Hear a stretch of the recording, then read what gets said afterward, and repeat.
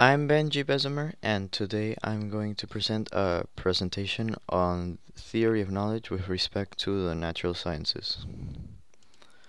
So first of all, we must um, know what is a natural science. A natural science is a branch of science that deals with the physical world, like physics, chemistry, biology, geology, etc.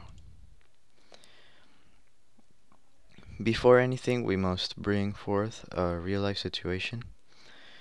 So, as a real life situation, not necessarily that it happened to me, but in the past, um, the world was thought of as being flat. So basically, people people saw the floor they were walking on, and people saw the flat ocean, or apparently flat ocean, and they made the logical conclusion that the whole world is flat because hey, that flat floor must keep on until the end of the world so it must all be flat. This, however, was wrong because humans, we, I mean, we went to space and we saw that Earth is a sphere, and most probably we knew before that.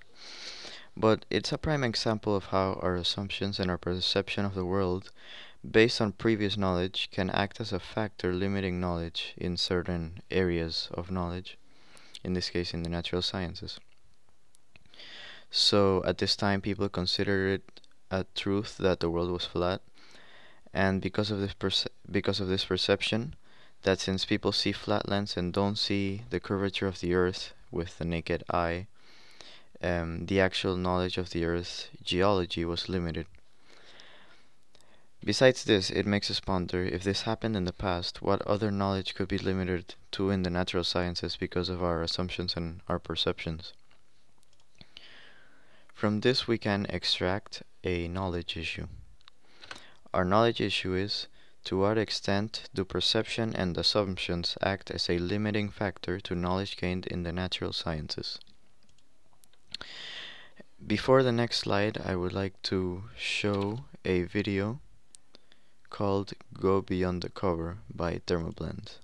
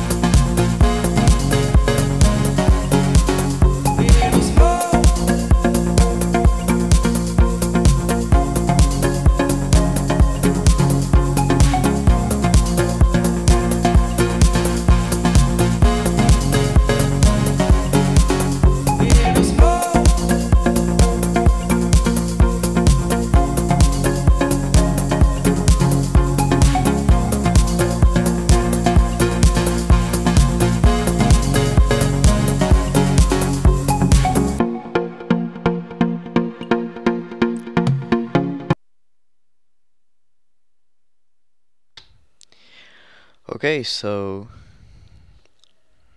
um, what message is trying to be transmitted? This video does not really have to do with the human sciences, but it does relate. Because as humans, we naturally judge a book by its cover. As we can see in the video, one least expected that the man was fully tattooed. And similarly, people least expected that the world was a huge sphere. This means that our observations could be wrong because of assumptions, like we thought before of the world being flat. And ultimately, this leads to a barrier of gaining knowledge in the natural sciences. Because knowledge in the natural sciences started based off as observations using the scientific method. So, the scientific scientific method. In order to gain knowledge in the natural sciences, the scientific method must be used. Um, but we must see what role does previous perception and logic and assumptions play on this method. And with previous perception, perception, what I mean is information previously gathered by the senses, and the fact that this plays a big role on assumptions to be made in the future.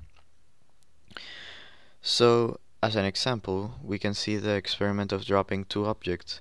Um, let's say like 500 or 1000 years ago, before we studied gravity and air resistance, um, we dropped a bowling ball and a pen. Obviously, or maybe not obviously, but more than more than let's say 90% of the population would have thought that the bowling ball would drop faster. But as we know, in vacuum, they will both drop at the same time.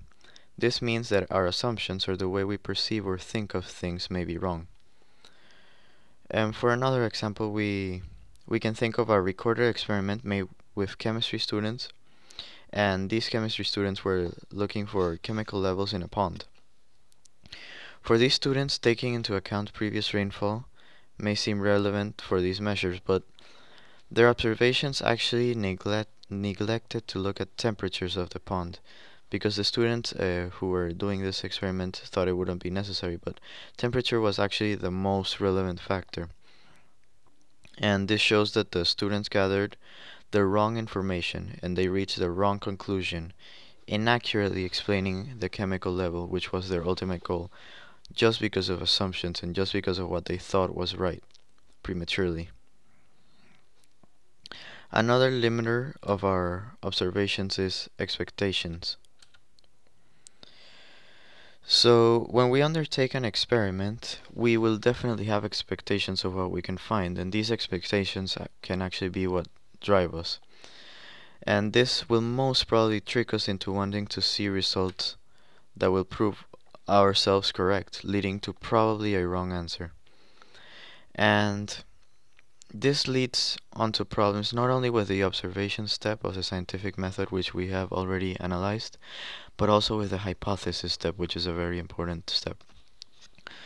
The fact that we want to prove something just because we assume it is true leads to a hasty generalization as well, or trying to affirm something without enough evidence. This also finally leads into us overlooking certain unwanted anomalies in our measurements taking us to confirmation bias. So, in conclusion, the fact that our brain makes assumptions of how the world works based on previous perceptions lead us to believe that, like believing the world is flat a long time ago because we perceived it to be that way, we could actually be thinking of many other things in nature equivocally, and this could be very important to us. So, counterclaims or other points of views.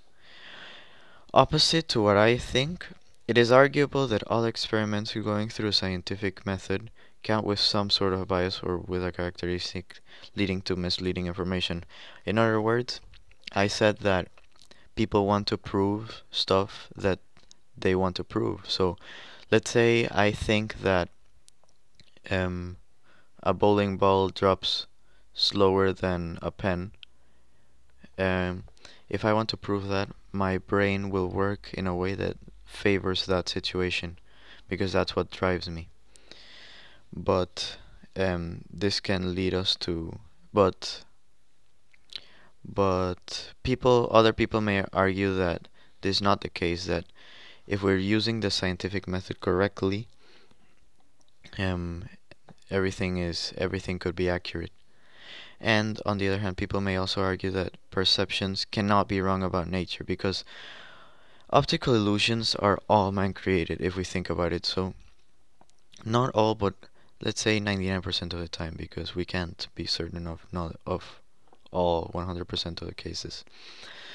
So for example um, we can see in this slide the the picture of the vase or the two faces.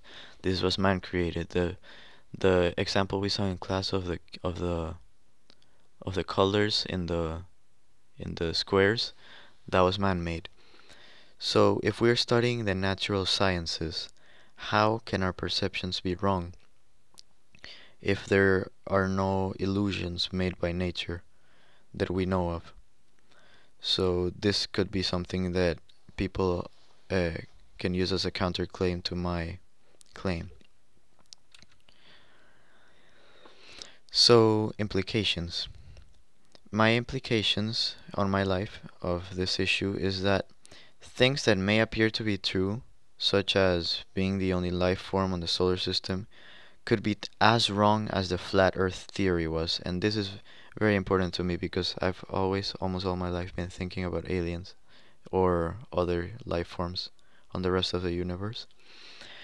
And if years ago our perceptions and assumptions um, made us think that the earth was flat, now this and this and right now we think that we're the only life form. We could be completely wrong.